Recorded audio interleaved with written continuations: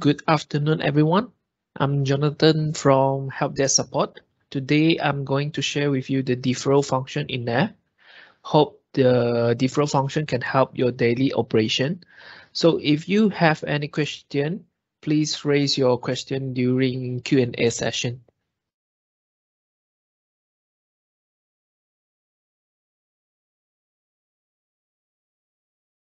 Okay, for the training agenda of deferral function, we will first walk through the deferral template setup. Second, we will have a scenario to defer expenses through purchase invoice. And finally, we will have another scenario to defer payment from customer through general journal. So for the deferral function in NAV, the functionality is to help you to defer revenues and expenses automatically. It will help users to save their time for more important tasks. Apart from that, the function will also avoid missing any deferred payment. So normally, company will have deferred payment when company subscribe insurance or paying installments. So you can use this function to defer the payment into months with one-time posting. Otherwise, you would need to post transactions every month until fully paid. So this function is also applicable to defer payment from customer. So sometimes customer might request to pay installments to your company. So you can also use the deferral function to defer payment from customer until fully paid. Before we start the first step, we have to know the required permission for deferral function and today's scenario. So you will need to need the permission to access deferral template, chart of account, general journal, and purchase invoice.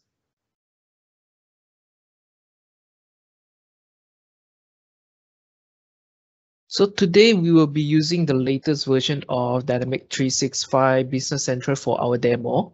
So before using the deferral function, user need to set up a deferral template. The deferral template will need user to predefine the amount percentage to defer and the period for the deferred payment or payment from customer. So this is the print screen of deferral template. When in deferral template card, you can see general fast tab and deferral schedule fast tab. For the general fast tab, we need to insert the deferral code, description of the deferral template, and deferral account. For the deferral account, is a temporary GL account for deferred payment. So defer pay the defer amount will credit into temporary account and will debit defer amount from the account from the GL account when the system posts the deferred payment. So for the deferral schedule fast step, we need to define the percentage of amount to defer, the calculation method for the defer amount, and the start date for the defer payment start.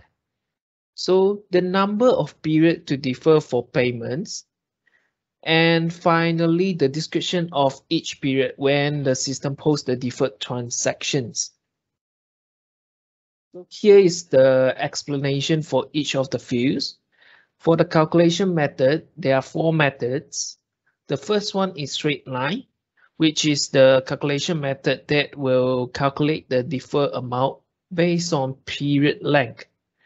For equal P for equal per period method, the deferred amount will be deferred evenly based on period. So for days per period, the system will calculate the deferred amount based on how many days of the month for example, when we post a deferred payment in January, the system will calculate 31st days. And for April, the system will calculate 30 days. So uh, for the user-defined method, user can change the deferred amount for each of the period. For example, uh, on January, user set the deferred amount to 300 ringgit on February, user can set the default amount to 500 ringgit. So based on what the user need lah. So for the start date, there are four options for user to choose from. user can choose the deferred payment start from posting date. For example, user post the deferred amount by today, which is 28th of May. So 28 of every month, the system will post the transaction automatically. So if you choose beginning for of the period, if user posts on today, it will start on 1st of May. So every first day of the month, the system will post the deferred transactions. So if you choose end of the period, if user post the deferred transaction today, the system will start posting on 31st of May. So for the last option, which is the beginning of next period, if user posts deferred payment today, the system will post transactions on the first day of next month. So for the number of period, user can define the payment to differ by how many periods. So for period description field, user can define the description when system posts the deferred transaction automatically. So below is the formula to include in description. User can insert the value for the system to include date, in the description when posting transaction. So you do not need to memorize the value. We will send you the link. You can check the value from the link through the recorded video. So I will create a new deferred template for our scenario one. So this is our Dynamic 365 Business Central. So the first step, we need to click on the search button and then insert the deferral template. So all the existed deferral template will list in this page. For our scenario, I will create a new deferral template by clicking the new button.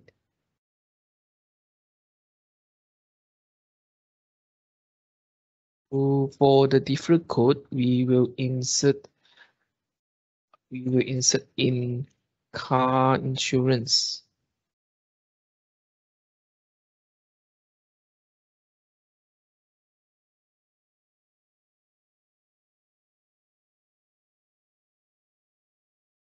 So for the description, I will insert car insurance. So this is the deferred account. So we need to insert the GL account that for defer function, which is a temporary account, which is three one.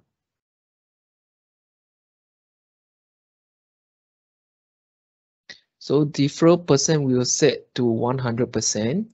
The calculation method we will choose equal per period the posting date will start at the beginning of period. So the number of period will be 12. So the description will be car insurance. Percentage six. Is uh we have created the deferral template card. So this deferral template card is for our scenario one. So once everything had insert, so we click back to save the deferral template.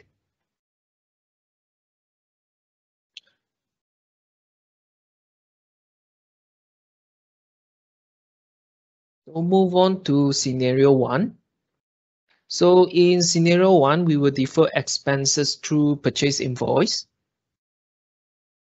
So the senior is a business manager subscribe car insurance for company and receive an invoice from insurance provider.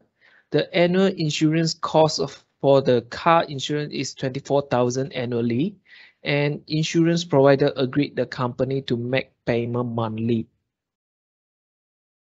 So once we receive the invoice from vendor, we need to create a new purchase invoice as usual.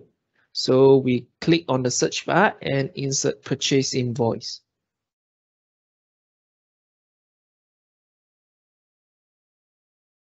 So we click new to create a new purchase invoice. So in our new purchase invoice, we need to insert the details of invoice as usual. So after insert, insert all the details, wait, let me choose the vendor first.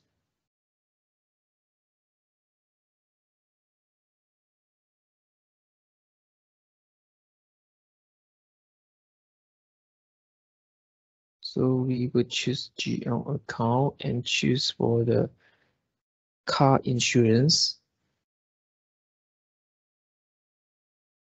So the quantity is one and the unit cost is 24,000. So in the deferral code, you if uh, your system don't have the deferral code column, you should add the column in the purchase line. So after added the column into the purchase line, we will select the deferral code we just uh, created. And to check the details for the deferral, we will click on line, related information, and deferral schedule. And in this page, we will see all the details for the deferral deferred payment. So if there is no issue, we will close the page and post the purchase invoice.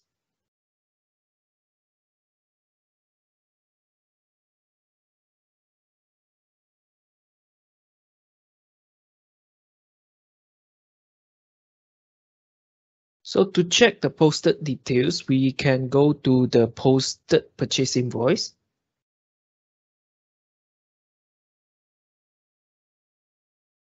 And in the posted purchase invoice, we click on invoice and find entries.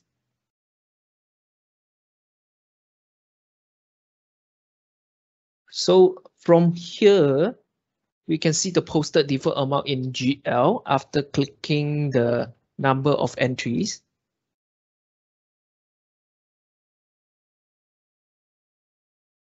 So the the insurance will be credited into the insurance account and the system will also credit the amount into the temporary account we created in our deferral template. And after that, the system will debit the account back from the debit the account from the car insurance GL account. And finally, the system will create uh, debit the amount from vendor card. So to to check to check uh, the posting from the system, we need to remove the posting date. The reason for removing the posting date is because the posting date filtered those entry posted in future. So after we remove the posting date, we click on find then uh, we can see the G the number of entries under GL entry had changed to 28.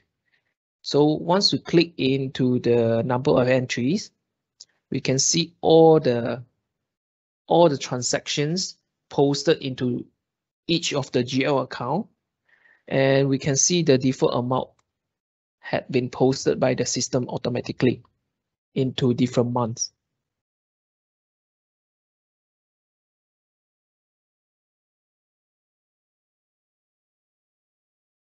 So we have done our scenario one. Let us move on to scenario two. In scenario two, we will defer payment received by customer through general journal. For scenario two, one of the customer had, had subscribed machine maintenance plan from the company. The annual value for the maintenance package is 36,000 and customer requested to make six months prepayment for the maintenance plan. This scenario, we will now go to general journal. So we click on the search button and insert general journal. So in the general journal, we need to insert the journal line as usual. First, we check on the posting date.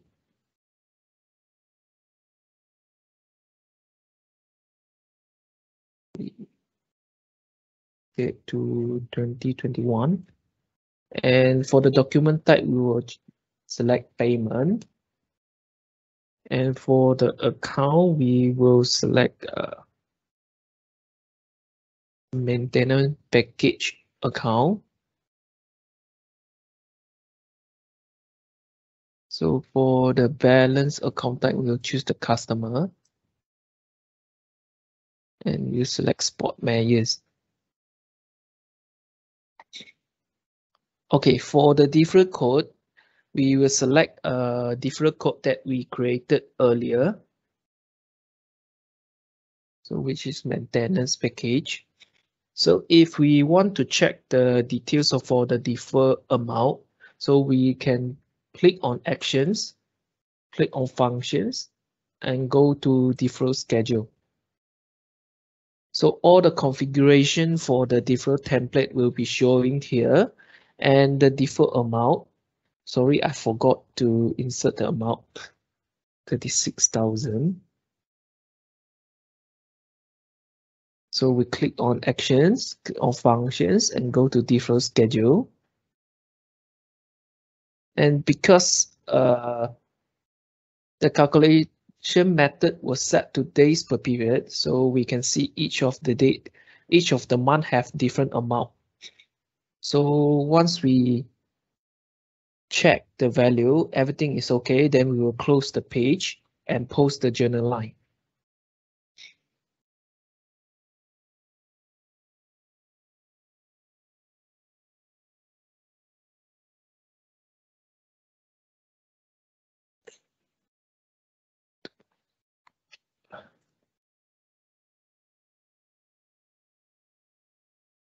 Okay. So right now we need to check the result for the posted GL entries. So we in, click on the search button and insert deferral. So now we see three of the reports here. So for GL deferral summary, we were able to see all the deferral posted with GL accounts in the system. So for sales deferral summary, we, the report will show those deferred transaction which under which posted under sales. And for purchase deferral summary, the report will show those deferred transaction which posted under purchase. So for this scenario, we will choose the GL deferral summary.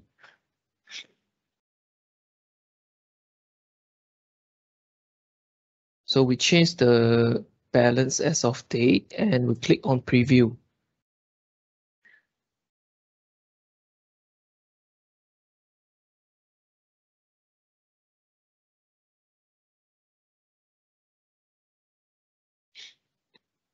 Okay, from this report, we can see all the deferred amount, the number of period, the start date or for the deferred payment.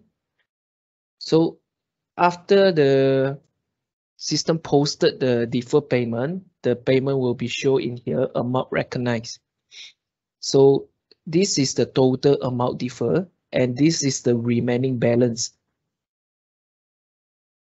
So if after a few months, then when we check for the report again, then it will show another value. So we're back to the report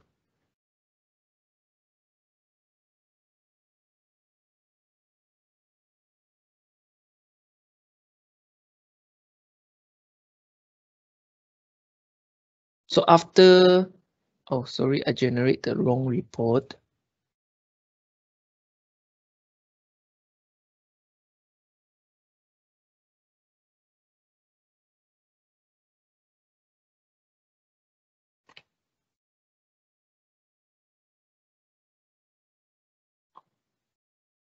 So after two months, the report will show the remaining amount that haven't been deferred.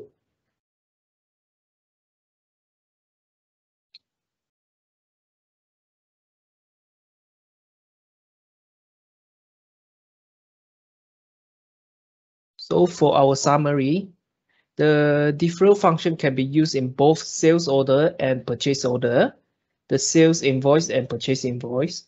The deferral function can also be used when purchasing or selling any items. The function will help user to defer payment with simple steps and post transactions automatically, which help user to save a lot of time.